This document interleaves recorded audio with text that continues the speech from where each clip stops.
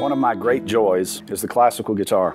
It teaches me the value of patience, diligence, and preparation. I love the communities of 30A and the life we have here.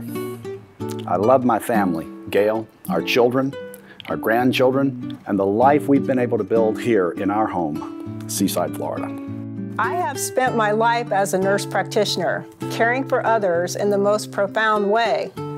I connect with people and continue to seek that strong connection with them and the world around me that is uniquely our coastal dune lakes, our hiking trails, our beaches, and our iconic places to call home. I was an original Rosemary Beach owner, and since 1996, I've never looked back at any living choice that I've made with more fondness than my decision to be here along 30A.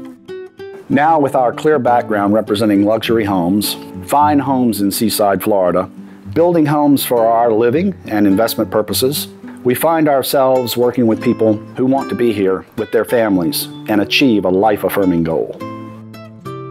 I care about people and I enjoy helping them improve their quality of life and their personal relationships when they realize the value of what that can mean for them and their families here along 30A.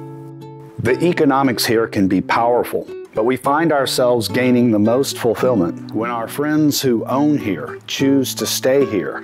Our goal is to anchor families to their home so they can pursue their passion. The homes in Seaside, Florida have a rich history.